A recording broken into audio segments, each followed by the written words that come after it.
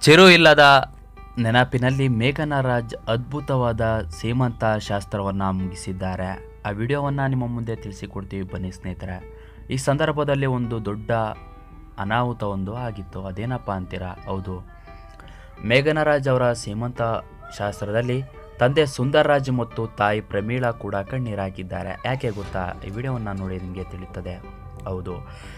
ಚಿರಂಜೀವಿ ಸರ್ಜಾ ಅವರನ್ನು ಕಳೆದುಕೊಂಡು ನೋವಿನಲ್ಲೇ ನಟಿ ಮೇಘನರಾಜ್ ಸೀಮಂತ ಕಾರ್ಯಕ್ರಮ ಮಾಡಿಕೊಂಡಿದ್ದು, ಚಿರು ಅಗಲಿಕೆ ಹಿನ್ನೆಲೆಯಲ್ಲಿ ಅವರ ಫೋಟೋ ಇಟ್ಟು ಸೀಮಂತ ಕಾರ್ಯಕ್ರಮ ಮಾಡಿಕೊಂಡಿದ್ದಾರೆ.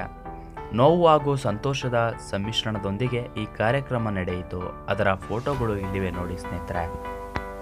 ಚಿರಂಜೀವಿ ಸರ್ಜಾ ಎರಡ್ ಸಾವಿರದ ಹದಿನೇಳರಲ್ಲಿ ತಮ್ಮ ಬಹುಕಾಲದ ಗೆಳತಿ ಮೇಘನರಾಜ್ ಜೊತೆಗೆ ಎಂಗೇಜ್ ಆಗುವ ಮೂಲಕ ತಮ್ಮಿಬ್ಬರ ಬಗ್ಗೆ ಹಬ್ಬಿದ್ದ ಗಾಸಿಪ್ಗಳಿಗೆ ತೆರೆಳಿದಿದ್ದರು ಎರಡ್ ಸಾವಿರದ ಹದಿನೆಂಟರಲ್ಲಿ ಅವರಿಬ್ಬರು ಬಹಳ ಅದ್ದೂರಿಯಾಗಿ ಮದುವೆಯಾಗಿದ್ದರು. ಆದರೆ ಮದುವೆಯಾಗಿ ಮೂರೇ ವರ್ಷಕ್ಕೆ ಚಿರಂಜೀವಿ ಸರ್ಜಾ ತನ್ನವರನ್ನೆಲ್ಲ ಅಗಲಿ ಮರಳ ಮರಳಿ ಬಾರದ ಲೋಕಕ್ಕೆ ತೆರಳಿದ್ದರು.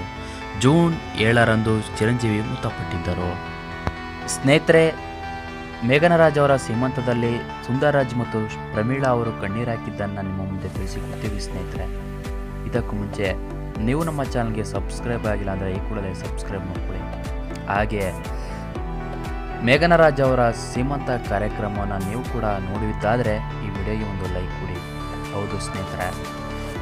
ಮೇಘನರಾಜ್ ಅವರ ಸೀಮಂತ ಕಾರ್ಯಕ್ರಮದಲ್ಲಿ ಮಗಳಿಗೆ ಕುಂಕುಮ, ಹಣೆಯಲ್ಲಿ ಕುಂಕುಮ ಇಲ್ಲ ಮತ್ತು ತಲೆಯಲ್ಲಿ ಹೂವಿಲ್ಲ ಎಂದು ಅವಳ ಪರಿಸ್ಥಿತಿಯನ್ನು ಕಂಡು ತಂದೆ ಸುಂದರಾಜ್ ಮತ್ತು ಪ್ರಮೀಳಾ ಅವರು ಕಣ್ಣೀರನ್ನು ಹಾಕಿದ್ದಾರೆ. ಹೌದು, ಐದು ತಿಂಗಳಲ್ಲಿ ಮೇಘನರಾಜ್ ಕಂದಮ್ಮನಿಗೆ ಜನ್ಮ ನೀಡಿದ್ದಾರೆ ಎಂಬ ಸಂಗತಿ ಬಯಲಾಗಿತ್ತು. ಈ ಸಿಹಿ ಸುದ್ದಿಯನ್ನು ಎಲ್ಲರೆದುರು ಹೇಳುವ ಮೊದಲೇ ಚಿರಂಜೀವಿ ಸರ್ಜಾ ಕಣ್ಮುಚ್ಚಿದ್ದರು. ಈಗ ಅವರಿಗೆ ಏಳು ತಿಂಗಳು ತುಂಬಿದ ಹಿನ್ನೆಲೆ ಸೀಮಂತ ಶಾಸ್ತ್ರವನ್ನು ಮಾಡಲಾಗಿದೆ ಸ್ನೇಹಿತರೆ. ದಯವಿಟ್ಟು ಇದರ ಬಗ್ಗೆ ನಿಮ್ಮ ಅನಿಸಿಕೆಗಳನ್ನು ನೀವೇನು ಹೇಳ್ತೀರಾ? ನಿಮ್ಮ ಅನಿಸಿಕೆಗಳನ್ನು ದಯವಿಟ್ಟು ಕಮೆಂಟ್ ಬಾಕ್ಸಲ್ಲಿ ಸ್ನೇಹಿತರೆ. Thank you